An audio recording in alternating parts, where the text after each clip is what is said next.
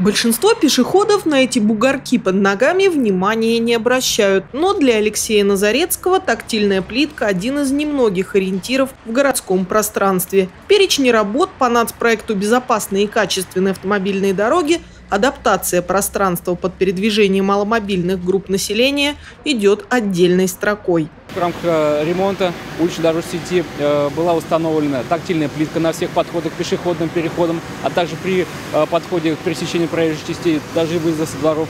Также были установлены дорожные знаки и выделены специальные места для инвалидов на всех парковках. На пересечении проспекта Текстильщиков и улицы Василевского в рамках программы не только заменили асфальтовое покрытие проезжей части, выполнили комплексный ремонт с заменой дорожных знаков, светофоров, восстановлением тротуаров и оборудованием подходов к ним новой тактильной плиткой.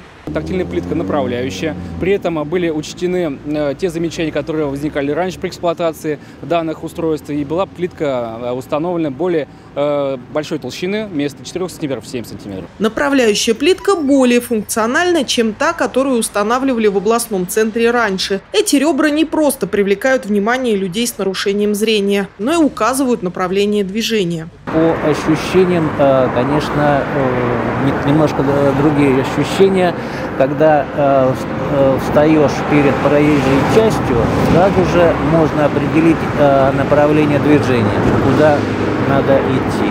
Ходить по ней удобно, самое главное, чтобы она и долго простояла и прослужила людям.